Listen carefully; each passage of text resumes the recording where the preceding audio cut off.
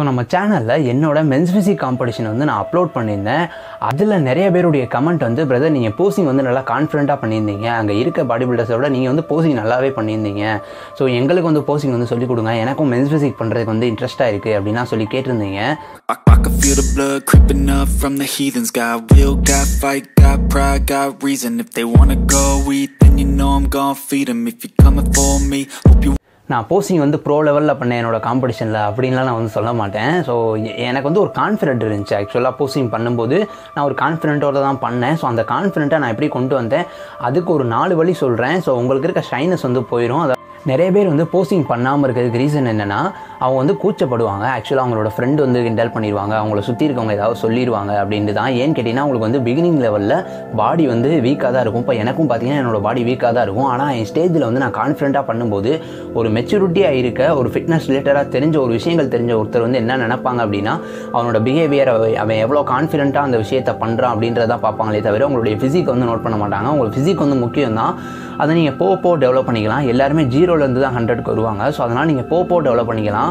அதனால் உங்கள் mind settle நீங்கள் என்ன வச்சுக்கோங்கன்னா இன்றைக்கி நீங்கள் எந்த ஒரு ஃபிசிக் லெவலில் இருந்தாலும் உங்களுடைய போசிங் லெவலையும் உங்களுடைய ஆட்டிடியூட் லெவலையும் உங்களுடைய கான்ஃபிடென்ட் லெவலையும் இன்க்ரீஸ் பண்ணிக்கோங்க. அதுக்கு ஒரு ஃபோர் ஸ்டெப் சொல்கிறேன் அதை ஃபாலோ பண்ணீங்க அப்படின்னா கண்டிப்பாக நீங்களும் ஒரு பத்து பேர் இருக்க இடத்துல உங்களுடைய போஸ்டிங் வந்து கண்டிப்பாக ஹைப்பாக தெரியும். இது வரைக்கும் என்னோட நேம் தெரில அப்படின்னா என்னோட நேம் வந்து கார்த்திக். நான் ஃபிட்னஸ் ரிலேட்டடான வீடியோஸ் வந்து பண்ணிட்டு இருக்கேன். ஸோ நம்ம சேனலை சப்ஸ்கிரைப் பண்ணிட்டு இந்த வீடியோக்கு ஒரு லைக் பண்ணிட்டு நம்ம சேனலை வந்து தொடர்ந்து பாருங்கள் நம்ம மென்ஸ் ஃபிசிக்கோ பாடி பில்டிங்கோ யாரையோ பார்த்து இன்ஸ்பயர் ஆகி ஒரு ஒருத்தரை வந்து நம்ம ரோல் மாடலாக வச்சு தான் நம்ம இந்த ஃபீல்டுக்குள்ளேயே வந்திருப்போம். ஸோ அந்த பர்சனே எடுத்துக்கோங்க. அந்த பர்சனோட வீடியோஸை நம்ம திரும்ப திரும்ப நிறைய வீடியோஸ் வந்து பார்ப்போம். இருந்தாலும் அவங்க போஸ்டிங் பண்ணுற அவங்க ப்ரோட்டி போஸ்டிங் ப்ராக்டிஸ் பண்ணுற அந்த ஒரு சில வீடியோஸை எடுத்து சேவ் பண்ணி வச்சுக்கோங்க. அந்த வீடியோஸை திரும்ப திரும்ப பாருங்கள் அவங்களுடைய ஆட்டிடியூடு ஸோ அவங்களுடைய ஃபிசிக்கை வந்து நோட் பண்ணாதீங்க. அவங்க எப்படி இருக்குது அப்படின்னு. அவங்களுடைய அந்த போசிங் அவங்களுடைய ஆக்ஷன்ஸ் அவங்க நடந்து வர்றது. ஸோ இது எல்லாத்தையுமே மைண்டில் வந்து ஏற்றிக்கோங்க என்னோட ரெஃபரன்ஸ் யாருன்னு கேட்டிங்கன்னா அஜித் ராஜா அவரோட ஃபிசிக் கூட என் ஃபிசிக்கை வந்து கம்பேர் பண்ணக்கூடாது. அவரோட ஸ்டைலை நான் வந்து ஃபாலோ பண்ணேன். அதை தான் வந்து நான் வந்து சொல்ல வந்தேன். இதுதான் வந்து ஃபஸ்ட்டு ஸ்டெப்பு ரெண்டாவதாக நம்ம என்ன பண்ண போகிறோம்னு பார்த்தீங்கன்னா மிரர் என்னடா மிரர் அப்படின்னு கேட்டிங்கன்னா உங்கள் வீட்டில் வந்து கண்டிப்பாக கண்ணாடி வந்து இருக்கும். நான் என்ன தான் இப்போ உங்களுக்கு கான்ஃபிடென்ட் கொடுத்தாலும் நீங்கள் போஸ்டிங் பண்ணுங்க அப்படின்னு சொல்லி சொன்னாலும் நமக்கு வந்து அந்த கூச்சம் வந்து இருக்கும். ஸோ அதனால் உங்கள் வீட்டில் இருக்க கண்ணாடி முன்னாடி வந்து இப்போ நம்ம ஒரு ரெஃபரன்ஸாக ஒரு வீடியோ பார்த்தீங்களா? அதில் வந்து நீங்கள் மைண்டில் ஏற்றி வச்சுருப்பீங்கல்ல அவர் நடந்து வர்றது அவரோட ஸ்டைலு அவர் எப்படி போஸ்டிங் பண்ணுறாரு ஸோ அது எல்லாத்தையுமே உங்கள் கண்ணாடி முன்னாடி நீங்கள் ப்ராக்டிஸ் பண்ணுங்கள் ஸோ நீங்கள் டெய்லியும் ப்ராக்டிஸ் பண்ணிக்கிட்டே இருங்க. ஒரு ஒன் வீக் வந்து ப்ராக்டிஸ் பண்ணுங்கள் முதல் நாள் என்னவோ உங்களுக்கு அந்தளவுக்கு ஒரு பர்ஃபெக்ஷன் ஒரு கான்ஃபிடென்ட் வந்து இருக்காது. ஆனால் கண்டிப்பாக ஏழாவது நாள் உங்களுக்கு ஒரு கான்ஃபிடென்ட் லெவல் உங்களுக்கு இம்ப்ரூவ் ஆகும். உங்களுடைய போஸ்டிங்லையும் நீங்கள் பண்ணுற ஆட்டிடியூட் இது எல்லாத்துலேயுமே ஒரு இம்ப்ரூவ்மெண்ட் வந்து இருக்கும். இந்த ஒன் வீக்கும் நீங்கள் பண்ணுற ப்ராக்டிக்ஸ் வந்து ரொம்ப ரொம்ப முக்கியம். பிறகு முன்னாடி ஒரு ஒன் வீக் பண்ண சொல்கிறது உங்களுடைய கூச்சத்தை போக்குறதுக்காக தான். இப்போ நம்ம மூணாவதாக பார்க்கக்கூடிய ஸ்டெப்பு தான் ரொம்ப ரொம்ப இம்பார்ட்டண்டான ஒரு ஸ்டெப்பு மொபைல் ரெக்கார்டிங் என்னடா மொபைல் ரெக்கார்டிங் அப்படின்னா நம்ம இப்போ இந்த ஒன் வீக்காக ப்ராக்டிஸ் பண்ணதில் ஓரளவுக்கு நமக்கு இம்ப்ரூவ்மெண்ட் வந்திருக்கும் ஒரு கான்ஃபிடன்ட் லெவல் வந்திருக்கும். ஸோ இதை வச்சுக்கிட்டு நீங்கள் உங்களுடைய க்ளோஸ் ஃப்ரெண்ட்ஸு இல்லைனா உங்களுடைய ஜிம் பார்ட்னரு அவங்களாம் இருப்பாங்கல்ல. ஸோ அவங்கக்கிட்ட உங்களுடைய மொபைலை கொடுத்து நீங்கள் ரெஃபரன்ஸாக பார்த்து வச்சுருந்தீங்கல்ல மிரர் முன்னாடி ப்ராக்டிஸ் பண்ணீங்கல்ல அந்த ஒரு ஆட்டிடியூடாக நீங்கள் அந்த மொபைல் ரெக்கார்டை ஆன் பண்ண சொல்லிட்டு நீங்கள் வந்து நீங்கள் வந்து போஸ்டிங் பண்ணுங்கள் ஸோ கண் கண்டிப்பாக வந்து உங்களோட ஃப்ரெண்ட்ஸ் வந்து சிரிப்பாங்க.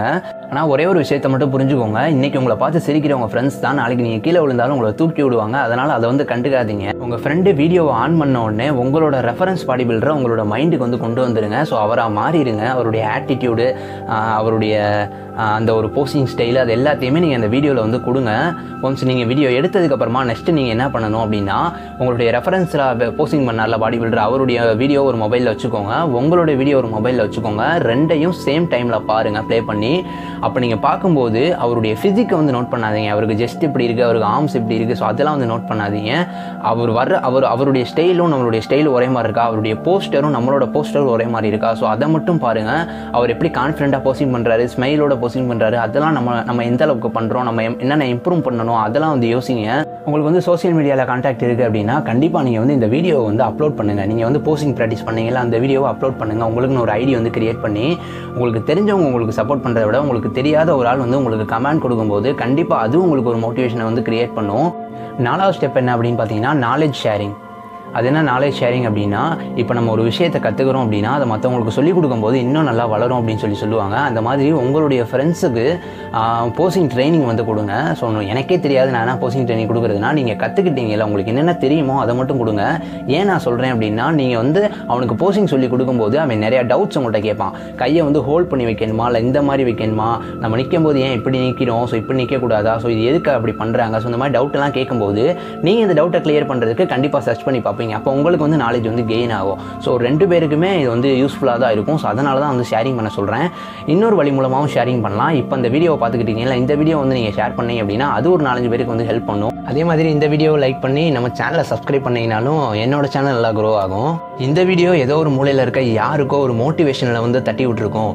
கண்டிப்பாக ஒரு சின்ன ஒரு ஐடியாவை கொடுத்துருக்கோம் அப்படின்னு நான் நம்புகிறேன் உங்கள் டயத்தை நான் வேஸ்ட் பண்ணலை அப்படின்னு நான் நினைக்கிறேன். ஸோ நெக்ஸ்ட் ஒரு இன்ஃபர்மேட்டிவான வீடியோவோட வரேன். ஸோ அது வரைக்கும் பாய் பாய் சொல்லிக்கிறேன்.